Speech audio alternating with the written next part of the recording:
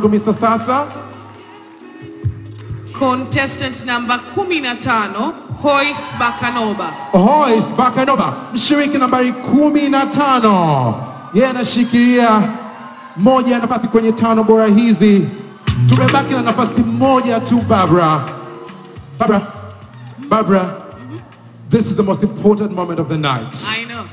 Because there's just one spot tonight, and one of these girls' life from tonight will change forever. Very true. Barbara, naomba unitajie mshiriki wa tano. Oh, Au nikuachie utaje? Hapana, ni kazi yako Barbara. Endelea, sogea mbele kidogo hapa kwa ajili ya kutaja mshiriki mwingine ambaye anaingia kwenye tano bora. And oh. this is oh.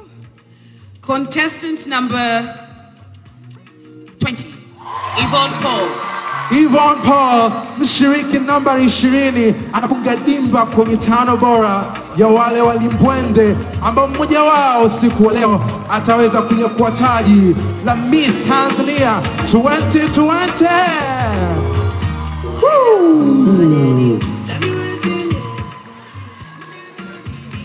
Hongereni sana tano bora yote kwa kuweza kufikia kwenye hatua hii ambayo ni muhimu sana kwa hatua ya kupata mshindi wa usiku huu wa leo. Congratulations to all of you. You all very well deserving of the title. Baada ya hapo, bila kupoteza muda, awali tuliweza kuona washiriki wote katika kuelezea juu ya projekti zao ambazo ni Beauty with a Purpose project. Hizi ni project ambazo mara nyingi zinakuwa za kijamii, masuala ambayo yanatugusa kwenye nyanja mbalimbali, kwenye afya, kwenye masuala ya watoto, kwenye masuala ya mazingira na kadhalika. Baada ya hapa sasa, washiriki mmoja mmoja wataanza kuelezea uh, uh, beauty purpose, lakini wa, watachagua waamuzi ambao waamuzi hawa watauliza maswali kutokana na project zao ambazo tayari zimefanyiwa kazi. Waamuzi judges wameshaziona. Naona judge mwisho mpoto anajiweka sawa kabisa pale kwa ajili ya kuweka microphone. Naomba nianze upande huu hapa naye Rose Mafere, mshiriki nambari kumi na nne. Rose, how are you feeling tonight? Overwhelmed. You're overwhelmed. You look beautiful. You should be very, very proud of yourself. Rose, ungependa uchague mwamuzi yupi kwa ajili ya uh, kukuuliza swali juu ya project yako Beauty with a Purpose? Judge Madam Basila. Rose has chosen Chief Judge Basila Kaluba Mwanukuzi to ask her on our Beauty with a Purpose projects. Rose Manfere, mshiriki namba 14, amemchagua Basila Mwanukuzi kumuuliza swali kuhusiana na project yake. Chief Judge Basila, karibu kwake. Once again, congratulations to all the girls. Congratulations also to those who didn't make it. As always, there's always has to be a winner. Um, Rose Manfere, what is your Beauty with a Purpose project? Can you remind the viewers once again? Thank you. My Beauty with a Purpose concerns children with autism spectrum disease. Autism is a serious non-developmental disease characterized by challenges with communication and repetitive behaviors. It is a spectrum, meaning that each, each autism individuals varies from, brains vary from each other. It's okay, don't worry. Okay, so why um, did you choose that project and how do you think um, you as Miss Tanzania, you'll make a difference in the project that you've chosen? I've been living in a society where there was presence of autistic, autistic individuals. And this thing has pushed me more wanting to know more about them. As I miss Tanzania, I've been wonder, wanting to know more and learn more about autism in Tanzania. And my aim is to raise awareness in improving lives of autism in Tanzania. And furthermore, build more schools. And furthermore, A round of applause for Rose. Rose, congratulations. And furthermore, emphasize campaign that could curtain building more schools for autism. autistic individuals in my country. Thank you. Thank you. Very well said. Rose Manfere, contestant number 14, ladies and gentlemen. Makofi kwake. Rose's project has to do with autism. Up next is contestant number 11. It's the lovely Juliana Rugumisa. Juliana, how are you doing tonight? Yes, How are you feeling? Um, I'm feeling very grateful. Great. Juliana, which one of the judges would you like to ask you on your Beauty with a Purpose project? Mrisho Mpoto ndo ambaye mwamuzi amechaguliwa na Juliana Rugumisa, mshiriki namba 11 kumuuliza juu ya projekti yake. Karibu. Juliana, unaweza ukarudia tena kidogo projekti yako tafadhali? Asante. Projekti yangu inaitwa Ability to Disability au uwezo pasipo na uwezo, na ni kwa ajili ya kuwasaidia watoto wenye ulemavu wa viungo unaotokana na imani potofu katika jamii pamoja na jamii kudhani kwamba unahusishwa na ushirikina. Na project yangu nimeifanyia katika wilaya ya Same ambayo ni kati ya wilaya tano Tanzania zinazoongoza kuwa na watoto wenye ulemavu na asilimia tisa nukta tatu watoto wenye ulemavu Same vijijini peke yake ndio wanaopata elimu. Kwa hiyo nimechagua project hiyo kwa ajili ya kwanza kutoa elimu kwa jamii kwamba ulemavu sio laana wala ulemavu sio kukosa uwezo wa kufanya kitu, lakini pia kitu kingine ambacho ni cha muhimu zaidi ni kuwafanya watu waone uwezo katika mtu mwenye ulemavu, yaani waone kama mlemavu anaweza kufuma, anaweza kutuka, anaweza kuchora, na sio mtu akimwona mtu mlemavu aone ule uwezo ambao anaofanya. Lakini kitu cha tatu ambacho ningependa ni kuikumbusha watu wenye watoto walemavu wasiwafiche ndani na wajue kwamba na wenyewe wameumbwa na Mwenyezi Mungu. Hivyo basi ningependa kuwakumbusha kwamba kuna wafadhili wengi sana ambao wapo tayari kusaidia watu wenye ulemavu, na mimi naweza kuruhusu na kuwa mmoja wa watu ambao wapo, wapo wanawasapoti hawa watoto wenye ulemavu. Asanteni sana. Asante sana Juliana Rugumisa, mshiriki nambari 11. Sijamaliza, sijamaliza.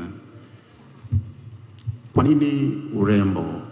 Project yako inaonekana ni project ambayo ni ya ndani kwa ajili ya Tanzania, sisi tuelewe. Tunakuchagua, unataka tukuchague kama balozi wa Tanzania duniani. Unataka kwenda kuiambia nini kuhusiana na watu wenye ulemavu? Unataka kuambia kwamba sisi tuna stigma hapa kwetu Tanzania?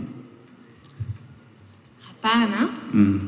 Lakini kwa sababu hata mimi wakati nakuwa niliweza kupitia changamoto mbalimbali kutokana na muonekano wangu urefu na wembamba sana, kiasi kwamba nilikuwa nashinda ndani, naogopa hata kwenda nje, watu wasiweze kuniona jinsi nilivyo. Kwa hiyo na ninapata changamoto na ninajua jinsi mtu anajisikia akiwa anafungiwa ndani au kutokana na uwezo alionao. Kwa hiyo nimetumia urembo kama jukwaa ambalo nitatumia sifa nilizonazo kuwakilisha watoto wenye ulemavu katika kule. Asante sana. Asante sana Judge Mpoto, tumemaliza. Asante.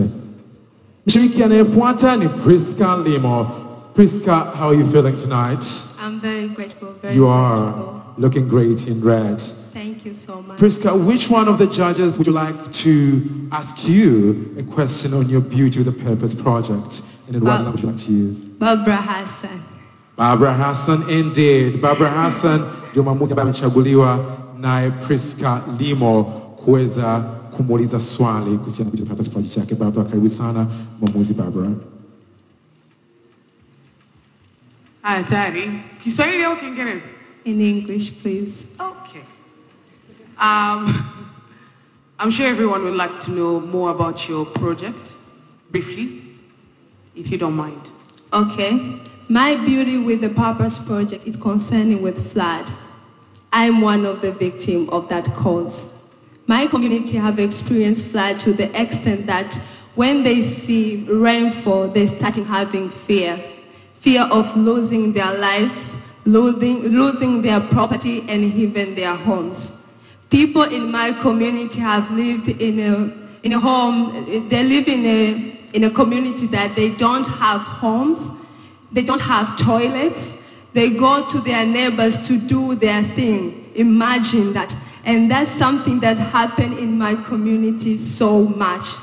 I've, as a youth and as a Miss Tanzania contestant and as a victim, I go to my local community and, and find out that 119 people in my community have experienced this and lost their properties. As a victim, I said, I want to do more. And I want, I went to regional commissioner and talked to interior ministry and be an ambassador of Usipime Nguvu ya Maji because 76% of people dying in Tanzania because they want to cross flood water. And I want this cause to end right now. And I said, let me take the stage of Miss Tanzania platform to educate, influence, and spread awareness about this cause. Because I believe together that is our strength and division that is our weakness. Thank you. Is your project going to be national? Yes, it is. I believe that through this short period of time, many people have experienced flood. We have seen how Jangwani Road was being blocked. People didn't go to their jobs. People didn't go to their schools, even go to hospital because of flood. It has occurred in Msimbazi. It has occurred even in Mwanza, Lindi. People have been dying because of this. And I said, let me take Miss Tanzania platform to make sure that I raise my voice as loud as I can. Not so that I can shout, but people who don't have voice can be able to survive from this. And I hope we can join hands together and raise awareness about this cause to eliminate this cause because I'm one of the victims of this. And I hope that Tanzania will hear me and even the government, the foundation, the organization to join together to tackle this issue. Thank you. Thank you very much. Ladies and gentlemen, that was Priska Limo. Up next is contestant number 15. How are you feeling, my dear? I'm ready to go, thank you. Yeah, good to see you once again. Which one of the judges would you like to ask you a question on one of your Beauty the Purpose projects? So far, there's Judge Serafin and Judge Anita Rumbiza. Asante. Mwanaume anayemfuata Mrisho Mpoto mkono wake wa kulia. Amemchagua Judge Serafin kutoka Serena Hotels. Serafin, karibu sana Judge Serafin. Najua umefanya kazi kubwa sana, tayari kwa ajili ya kumuuliza swali. Asante sana. Uh, ungependa kutumia Kiswahili au Kiingereza? Kiswahili tafadhali. Asante. Hapo tuambie kidogo kuhusu project yako briefly. Asante. Tangu nilipokuwa nikiwa mdogo niliahidi, kwa sababu mimi nimezaliwa nikiitwa Miss toka nikiwa mdogo, na hata nikakabidhiwa la mrembo ambaye alikuwa mshindi wa Miss Tanzania 1999 Hollis. Hivyo basi nilikuwa nina ndoto na niliahidi kwamba chochote nitakachokileta kwenye jamii yangu nitakielekeza moja kwa moja kwa watoto wa kike.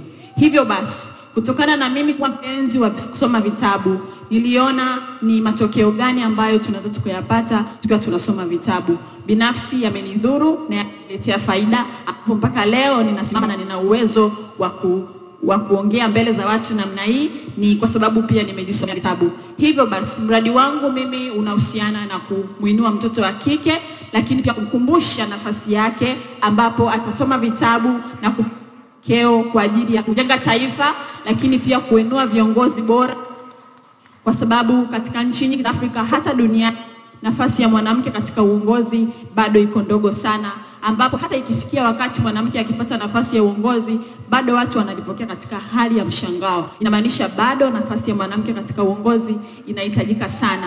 Hivyo kupitia kusoma vitabu tunaweza kujua historia zetu, tunaweza kujenga na kujua nafasi zetu, kusudi la kubwa kwetu. Hivyo basi, kama mrembo na kama mwanafunzi wa chuo cha utumishi wa umma niliyepata mafunzo ya utunzaji wa kumbukumbu, ninafahamu kwa undani zaidi umuhimu wa kujua historia, umuhimu wa kutunza vitabu, umuhimu wa kusoma vitabu. Asante sana.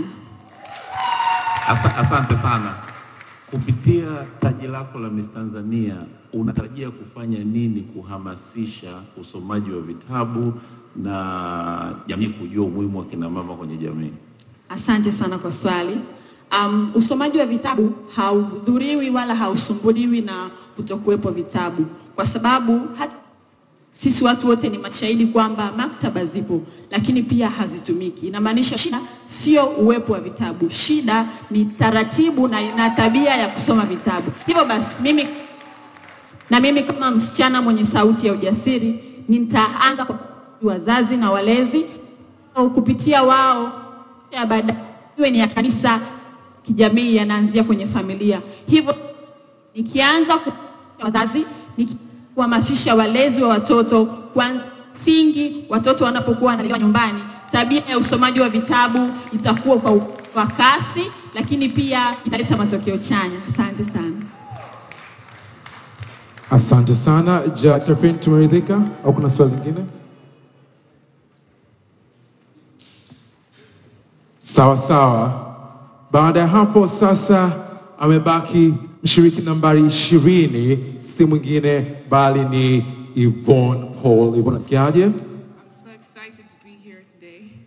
Sawa sawa. Yvonne, basi tuambie uh, ungejisikiaje kwa sababu jaji ambaye amebaki hivi sasa ni Anita Rombiza. Tuambie utatumia kwa lugha ya Kiswahili ama lugha ya Kiingereza kwenye kuelezea juu ya project yako. Purpose. English, please. English it will be. Judge Anita Rombiza from Serengeti Brewers. Thank you, my dear Yvonne.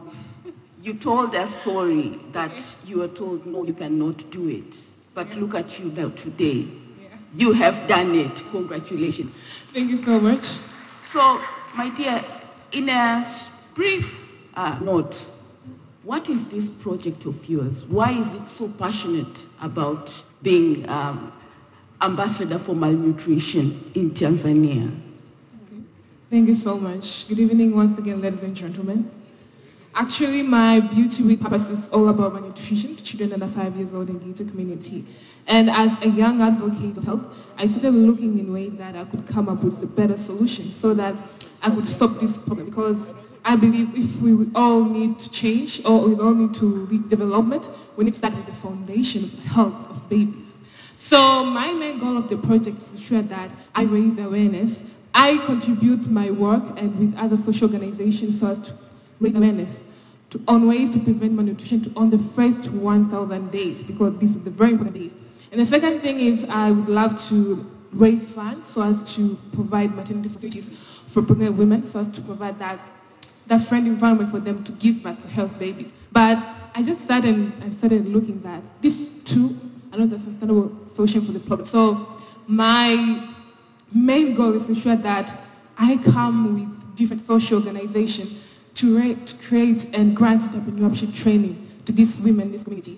As we know, if anyone here has ever grown up in a village whereby your mother just depends on agriculture, and when it's climatic change, you don't have anything to eat.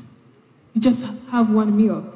So if I'll be able to grant those skills to them and be able to make them be financially active, I believe they can be able to provide those basic opportunities to their children that even my mother gave me that today I'm here is because of her. So I believe it's also my responsibility to give back to those children that beneficial for them to become the start of their dreams. Thank you. Thank you. Thank you. Asante. Now, um, you are Miss World Tanzania. You're back home in Tanzania. You have a platform. Yeah. You have much bigger audience. Yeah. Three things I want to know. How are you going to raise awareness? Um, we need to make this plan of yours alive. How are you going to get there? What strategies are you using to make sure you are going to get funds? And lastly, Tanzania needs to change. How are you going to change perceptions of Tanzania when it comes to malnutrition? Okay, let me start by your last question. Yes. Actually, my main aim is to change mentalities on, especially on nutrition behaviors, because mothers, caretakers, and women are the key role of shaping nutrition behavior.